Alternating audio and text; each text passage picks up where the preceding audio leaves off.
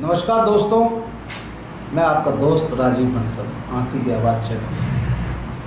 हाँसी की आवाज़ चैनल पर हम आपको विभिन्न शख्सियत से मिलवाते रहते हैं, जिनका सामाजिक क्षेत्र में सरोकार होता है, राजनीतिक क्षेत्र में जिनका मुकाम होता है, खेल के क्षेत्र में, यानी स्पोर्ट्स के क्षेत्र में जिन्होंने काफ़ी उपलब्धियाँ हासिल की या अन्य किसी भी फ़ील्ड में जिन्होंने आउटस्टैंडिंग अचीवमेंट ली हो। ऐसी पर्सनैलिटीज से हम आपको रूबरू करवाते रहते हैं। आज बड़े सौभाग्य की बात है कि हमारे बीच एक ऐसे व्यक्तित्व यहाँ मौजूद हैं, जिनसे हम एक विवाद बातचीत करेंगे। राजीव शर्मा, जिन्हें मैं एक सामाजिक सरोकार का, व्यक्तित्व का धनी कहूँ, एक व्यापारी कहूँ, एक स्पोर्ट्समैन कहूँ, या एक राजनीतिज्ञ कहूँ, सुलझे हुए राजनीतिज्ञ कहूँ अतिशोक्ति नहीं होगी आप हैं राजीव शर्मा जीजेपी के जिला मन संचालक जीजेपी जननायक जन जननायक पार्टी। जनता पार्टी। जननायक जनता पार्टी जीजेपी। दुष्यंत चौटाला जिसके राष्ट्रीय अध्यक्ष हैं और सरदार निशांत सिंह जी जिनके प्रदेश अध्यक्ष हैं। आप हैं राजीव शर्मा जिला मनसालक जे पी आइए इनसे बात करते हैं। नमस्कार राजीव जी। नमस्कार।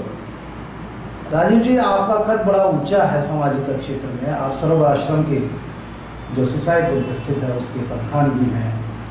और व्यापार मंडल से भी आप जुड़े सर्व व्यापार मंडल के आप महासचिव हैं। राजनीति में और एक अच्छे स्पोर्ट्समैन भी हैं।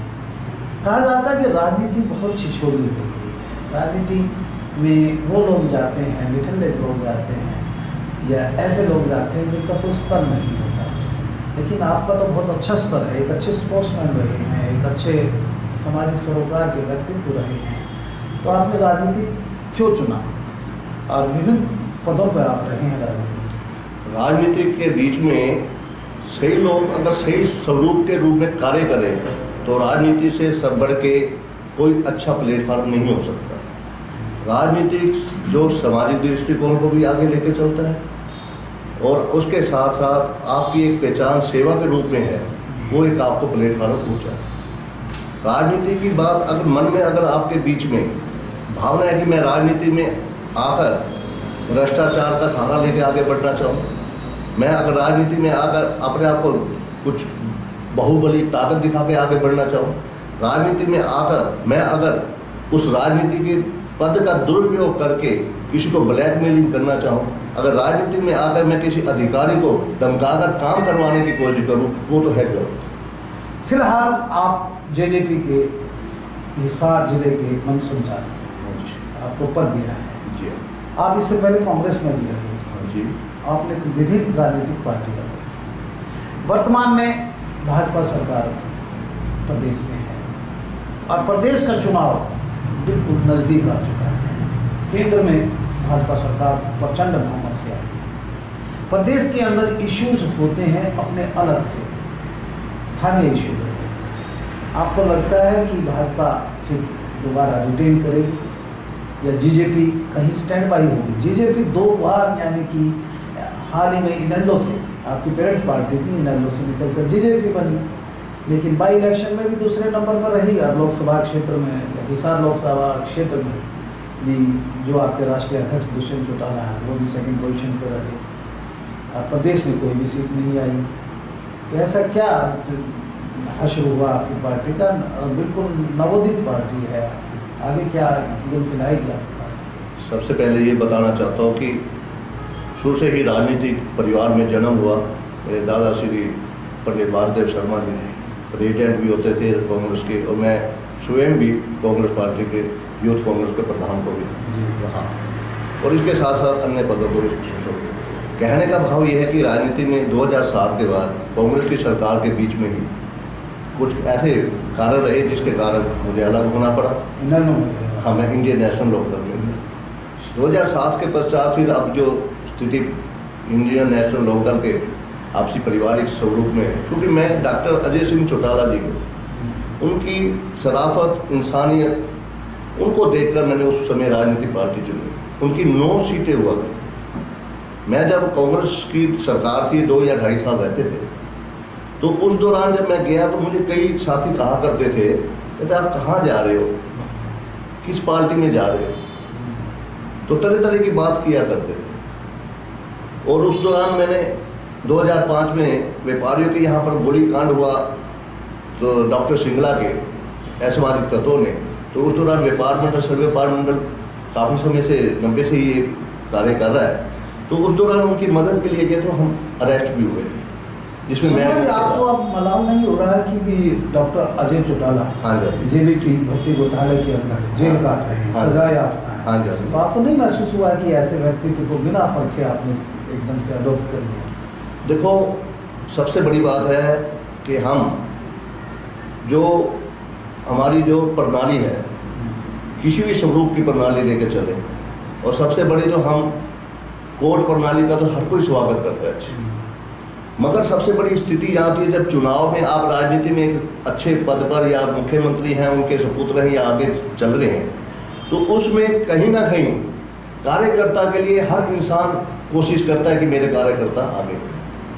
तो उस घोटाले में अगर घोटाला वो होता तो आज तक जेपीटी के अध्यापक लोग नौकरी पे ज्वाइनिंग है। चौधरी ओम प्रकाश चौटाला जी ने अगर लगाए तो उनमें कहीं कोई धपला भी नहीं दिखाई दिया। और डॉक्टर अजय सिंह चौटाला का कसूर इतना कि उनके सपूत या उस समय के सांसद, अगर उन्होंने, हो सकता है कि मेरे जैसे किसी साथी का कार्यकर्ता का कोई मिलने वाला हो, उसका दबाव कि मैंने दे दिया ये बनाओ उसकी फॉर्मेलिटी भी पूरी की होगी ये भी नहीं क्योंकि अधिकारी लोग चलो ये बात रही वो हाँ, हाँ। अतीत की हाँ। वर्तमान में आते हैं हाँ। वर्तमान में भारतीय जनता पार्टी प्रदेश में कैसा काम है कार्य प्रणाली कैसी भारतीय जनता पार्टी के बीच में हालात ये देखो नाम है क्योंकि पिछला जो हुआ है राष्ट्रवाद का नारा दिया गया देश के ऊपर मोदी के नाम के ऊपर कि पहले समय हुआ करता था उन लोगों को या अब भी यही है कि एमपी चुनते और प्रधानमंत्री लेकिन प्रधानमंत्री के नाम पर एमपी बनेंगे। ये पहला ऐसा सिस्टम है जो लोगों को देखने को मिला। और लोगों ने बेधड़क मन ही मन में एक भाव बना हुआ था जो मोदी मोदी मोदी। उसी हिसाब से उन्होंने उनको वोट दे दिया। और देश के अंदर क्या और देश के हालात राष्ट्रवाद के नारे दे के वो हुए और प्रदेश के अंदर अलग मूवमेंट होगी अलग राजनीति का हिसाब होगा क्यों? क्योंकि उसका कारण है। मनोहर लाल जी अच्छा काम नहीं? मनोहर लाल जी ईमानदारी के ला रहे हैं ईमानदार हैं। और अच्छे व्यक्ति हैं अच्छे व्यक्ति हैं।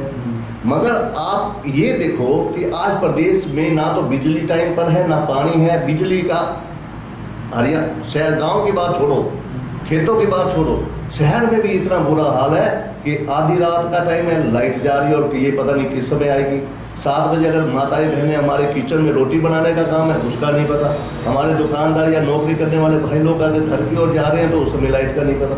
इतने कट का लगना इस बात को दर्शाता है कि इनका एक सिस्टम या शेड्यूल वो नहीं बना हुआ। कानून व्यवस्था कैसी है? आप तो सर्व व्यापार मंडल के महासचिव हैं।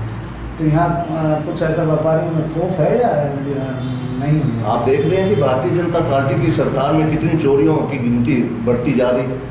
पुलिस प्रशासन दावे करती कि हमें कोई एक चोरी का बता दो, किसी भी वो पड़ोसी जो जिसकी इंडस्ट्री के बीच में डाका पड़ा था, कहा गया, मिलेगा। उनकी दुकानों में भी हर जगह चोरी चोरी, जो कितनी भी चोरी हुई, एक भी बता दे, पुलिस प्रशासन हमने ये किया। और एडमिनिस्ट्रेटर की बात देख ले जगह जगह गंदगी के ढेर लगे हुए हैं। कहीं चौक ले उमरा गेट से लेकर कहीं चले जाओ। अब सबसे बड़ी बात है कि इसकी कमी किस कहाँ आती है? आप कहते हैं सरकार सरकार बढ़िया, नंबर एक मान लिया।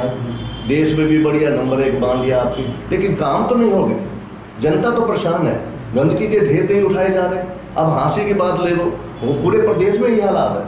लेकिन हाँसी में आप देख लो जगह जगह जो कि वीआईपी एरिया होते हुए, मैं तो यही चाहूँगा कि चुनाव से पहले मुख्यमंत्री महोदय ने जो यहाँ पर एक रोड शो किया रोड शो किया और गंदगी के ढेरों के बीच में कोई दिखाई नहीं दिया जब रोड शो से पहले पूरी सफ़ाई व्यवस्था की। तो अगर इसका मतलब यहाँ का एडमिनिस्ट्रेटर यही चाहता है कि मुख्यमंत्री हमेशा रोड शो करता रहे। क्या यहाँ के जो पार्षद है जनप्रतिनिधि चुनकर आए हुए हैं जनता की वो आवाज़ है चाहे किसी भी राजनीति में पार्टी के साथ पार्षद जुड़ा हो मगर उनकी आवाज़ होती है उनके लिए कार्य होना चाहिए। इसका मतलब यहाँ पर एक आपके बीच में डीसी साहब बीच में पहले आए थे। एक सर यहाँ पे कार्यक्रम था। राह के सम्मेलन हुआ था। उस दौरान उस दौरान उन्होंने आदेश दिया था कि गंदगी के ढेर मेखल आज के दिन तक अगर हुआ हो इस आपके बीच में मैं बातचीत में साक्षात्कार में इसके दौरान कुछ हुआ हो तो कह नहीं सकता। इससे पहले गंदगी के ढेर ये दिखा रहे हैं कि भारतीय जनता पार्टी में कितना कार्य होता है। क्योंकि एडमिनिस्ट्रेटर जो मेन जिला हिसार का प्रमुख हमारा ऑफिसर की बात को नज़रअंदाज किया जाए इसका मतलब तो यहाँ चेयरपर्सन है यहाँ पे पार्षद है उनकी महत्व कौन देगा? और यहाँ का कौन जिम्मेवार है? नगर परिषद में ईओ सबसे बड़ा ऑफिसर होता है। मुख्यमंत्री कहते हैं कि हरियाणा एक हरियाणा लेकिन खांसी में विकास नहीं हो पाया। तो इसमें क्या विपक्ष की जो विधायिका है रेणुका विष्णु उनका थोड़ा सा अ, इसमें उनके ऊपर बात आती है या मुख्यमंत्री जी ने विपक्ष की विधायिका को देख कर ऐसा कि यहाँ तो कांग्रेस के विधायक का विकास करने की ज़रूरत है ऐसे यदि सबसे बड़ी बात तो ये होती है कि विधायक का इसका मतलब हर जगह नब्बे की नब्बे सीटें तो कोई भी सरकार बने तो उसकी सरकार की तो नहीं आते हैं नहीं, आती। जब हम बराबर की मूवमेंट लेके चल रहे हैं कि हम समानता देंगे हर एक को पैसा बराबर का देंगे चाहे विधायक कोई बने विधायक का ये होता है कि उसका चौकीदारा करना फ़र्ज़ होता है अब वो मैडम बनकर विधायिका जनता जनार्दन ने बनाया हम्म। लेकिन उन्होंने आकर हाँसी की जनता के बीच में दुख सुख में या कहीं कार्य शैली में कहीं आवाज़ तो उठाओ आपका फ़र्ज़ है। अच्छा कोई विधायक ने कोई आवाज़ विधायिका का एक बताओ आप एक मान के चले विधायक किसी भी पार्टी को आम लोग ये कह देते काम नहीं हो रहा काम ना करवाने वाले का तरीका होता है। काम नहीं हो रहा मैं तो विपक्ष को। अरे आप जनता के बीच में आवाज़ उठाओ विपक्ष की भूमिका अदा करो लोगों के बीच में जाओ कैसे भी काम होगा झांसी की दुर्दशा की सारी तोहमत आप रेणुका विश्नोई पे डालते विधायक आप मान के चले उनका आवाज़ उठाना फ़र्ज़ है। जो उनका दायित्व बनता है विधायिका है। विधायिका की बहुत बड़ी ताकत है फ़ोन करे। फ़ोन करते होंगे आप कह देंगे मैंने फ़ोन भी किया। मगर फ़ोन करने के उपरांत आपके वर्कर भी हैं आपके बीच में साथी आप लोग जाके इकट्ठे हो। सर पिछले चुनाव में आपके जो राष्ट्रीय अध्यक्ष हैं दुष्यंत चौटाला हाँ सिटिंग एम पी। रहे उनको भी मुँह की खानी पड़ी। ढाई लाख पौने तीन लाख वोटों से हारे। रेणुका बिश्नोई जी के पुत्र को जमानत से भी हाथ धोना पड़ा खामियाजा भुगतना पड़ा। तो क्या दुष्यंत चौटाला जी ने भी कोई ऐसे काम नहीं किए? कह रहे थे कि मैं विकास के दम पे जीतूँगा या ऐसे लोकप्रियता में लोकप्रिय मैं एमपी हूँ दोबारा रिटेन करूँगा। ऐसे यदि कार्यशैली के बारे में हम तो चलो उनकी पार्टी के साथ श्री दुष्यंत चौटाला जी के साथ जुड़े हुए उनके साथी उनके बड़ा सत्कार करते उनकी कार्यशैली की तो विरोधी लोग भी और आप लोग पत्रकार साथी भी इस बात की तुलना कर लें पूरे के पूरी दस लोकसभा सीटों में जो बने नहीं बने जो बन रहे अब भी बन रहे हैं। उनका विश्लेषण करें या जो पहले बने, हमारे चलो औरों को छोड़ो, हिसार विध- लोकसभा सीट के ऊपर पहले भी एमपी बने थे। आज तक किसी भी एमपी ने इतना पैसा खर्च विकास कार्य के लिए, अपने क्षेत्र के लिए, लोकसभा क्षेत्र के लिए कभी नहीं लगा। इन्होंने तो उनका पैसा जो गया हुआ वापस भी, वो लाने का उन्होंने लाए, जिसका ये बेनिफिट है। और उनकी कार्यशैली को देखते हुए श्री दुष्यंत चौटाला को विजय श्री मिलनी चाहिए। लेकिन जनता जनार्दन है। इनके मन में क्या भाव हुआ? लहर में भाई वही बात है कि राष्ट्रवाद के नारे दे के मोदी मोदी हो गया। लेकिन यहाँ पर यहाँ हिसार की भोली भाली जनता वो भी उस भावना में आके हम उनका भी सत्कार करते हैं क्योंकि इन्हीं जनता ने श्री दुष्यंत चौटाला को पीछे बनाया था और इन्हीं जनता ने आप उन भावना में आगे लेकिन हर एक के कंठ से हर एक के मुँह से यही बात निकल रही है कि दुष्यंत चौटाला तो काम करने वाला है और उसी का तो इसका आने वाले विधानसभा में हमें इसका अच्छा रिज़ल्ट अक्टूबर में चुनाव होने वाले हाँ, प्रदेश में हाँ। आपका सिंबल बदल गया है सिंबल तो चाबी है जी नहीं पहले चप्पल रहा। हाँ, हाँ जी, हाँ। चप्पल से सिंबल चाबी गया हाँ जी क्या सत्ता की चाबी फिर आपके हाथ में आने की संभावना है या बीजेपी को चाबी थमा देगा नहीं नहीं बीजेपी को नहीं क्योंकि जनता जनार्दन सबसे बड़ी इस चाबी की मालकिन जनता जनार्दन जी। हमारे जननायक जनता पार्टी के प्रमुख नेता डॉक्टर अजय श्री दुष्यंत चौटाला जी ये तो एक उसके स्वरूप के बीच में हमारे प्रमुख नेता जी। जनता जनार्दन अगर चाहेगी अगर आज वर्तमान हालातों से अगर वो दुखी हैं। वर्तमान हालात जो दिख रहे हैं प्रदेश में उनको देखते हुए और आने वाले समय को देखते हैं। तो दुष्यंत चौटाला की चाबी को क्योंकि वो जनता की चाबी होगी दुष्यंत चुनाव चिन्ह है तो चाबी तो जनता को सौंपी जाएगी। सत्ता की चाबी है। अगर उनका सहयोग मिला परम पिता परमात्मा की कृपा हुई तो सत्ता में लगता है कि जेजेपी पावर में आएगी? बिल्कुल बिल्कुल भी आज भारतीय जनता पार्टी के मुकाबले में अगर पैरलर में कहीं कांग्रेस तो बिल्कुल धराशायी हो चुकी है कहीं भी नहीं। आज सभी के मुख से अगर बात आती है क्योंकि जब ये लोकसभा के चुनाव थे उस समय जनता जनार्दन कोई भी सोशल मीडिया या टीवी वाले पूछा करते तो लोग कहा करते ऊपर मोदी और नीचे दुष्यंत आज हालात दिखाई दे रहे हैं क्योंकि जनता जनार्दन का मन में था कि देश के लिखों के ऊपर पप्पू था जो कि हमारा राहुल उसका आपको पता है क्या हालात हो आज क्या जनाजा निकल रहा है कांग्रेस पार्टी के। इन हालातों में ये हालात आप जान के चलें कि आने वाला श्री दुष्यंत चौटाला हरियाणा की राजनीति में आ गया। इनेलो का विभाजन हुआ जेजेपी निकल के आई क्या संभावनाएँ हैं कि चौधरी ओम प्रकाश चौटाला फिर से अपने पुत्र डॉक्टर अजय चौटाला को मुख्य धारा में ला के एक हो जाएगा? ऐसा कुछ लगता है? परिवार के मुखिया हैं। वो तो उन परिवार के दो परिवार का अंग है। उन्होंने भी हमेशा उनका सत्कार किया। ये तो परिवार की, उनके परिवार के बीच में है। हम तो ये कामना करेंगे परिवार इकट्ठा रहे, परमात्मा की मेहर हो।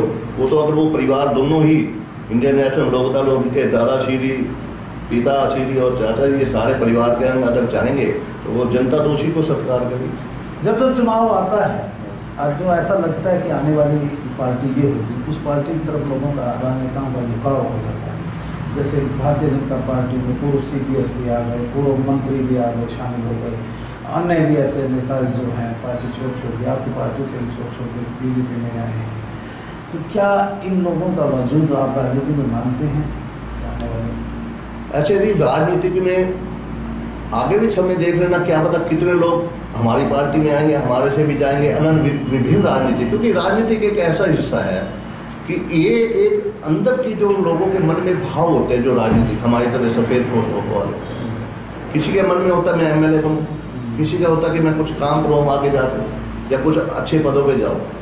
तो इस परिस्थिति में हम लोग ये देखते हैं कि आज जमावड़ा ज़्यादा से ज़्यादा जा रहा है। ये कोई दो राय। कोई अतिशोक्ति नहीं ये तो कह दे भी नहीं जा जा रहे और कुछ आने वाले विधानसभा में जब आप माफ़ करना कि यहाँ पर आप लोगों के बीच में कितने दो प्रमुख हैं जो पूर्व मंत्री हैं। बाकी सारे के सारे मन में चेष्टा रखने वाले होते हैं कि हमें टिकट मिले हमें मिले। कई ऐसे हैं कि अलग राजनीति में थे वो भी उसमें ज्वाइनिंग कर चुके हैं भारतीय जनता पार्टी। क्या आने वाले समय में टिकट तो एक को मिलेगी अगर उसकी इच्छाएँ दूसरे की अगर होगी या तो उसका साथ देना पड़ेगा मजबूरी में या फिर उसको आपको लगता है कि बीजेपी में फिर से बिल्कुल मचेगी? बिल्कुल बिल्कुल मचेगी क्योंकि आप पीछे एक लेख में देखा गया था कि कार्यकर्ता ने कहा इतने लोग आवागमन हो रहा है और हम ईमानदार और पुराने जो आज तक सत्ता में नहीं रहे। हमारे हाँ कैडर बेस पे हमारी कोई पूछ भी नहीं होती आज भारतीय जनता पार्टी पूछ बताओ कोई एक यहाँ का पार्टी का प्रमुख लगा लो कोई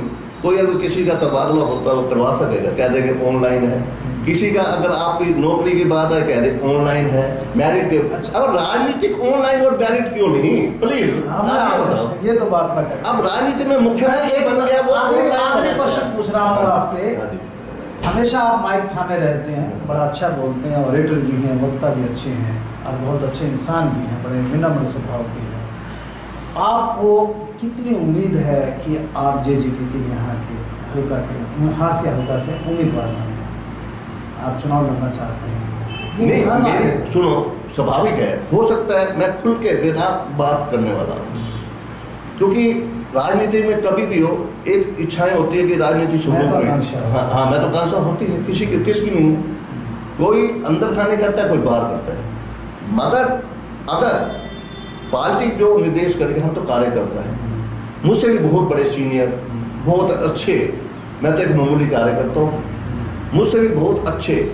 अगर जननायक जनता पार्टी जिस किसी को भी टिकट थमा देगी मैं उसे डॉक्टर अजय चौटाला और श्री दुष्यंत चौटाला समझते हुए उसके लिए दिन रात एक आप व्यक्ति की मेरा हमेशा- आप पार्टी की नहीं व्यक्ति की पूजा कर रहे हैं बार बार दोनों का नाम लेके। नहीं नहीं पार्टियों की जननायक जनता पार्टियों के तो हमारे प्रमुख लीडर हो गए। चलो ये आप अपने आप को उम्मीदवारी में कहाँ खड़ा पाते हैं? राजीव शर्मा कहाँ अपने आप को उम्मीदवारी में खड़ा नहीं उम्मीदवारी में अगर तुलना की जाए हर हर परिस्थिति के हिसाब से हर स्थितियों के हिसाब से अगर सोचा जाए तो लीडरों ने सोचना है।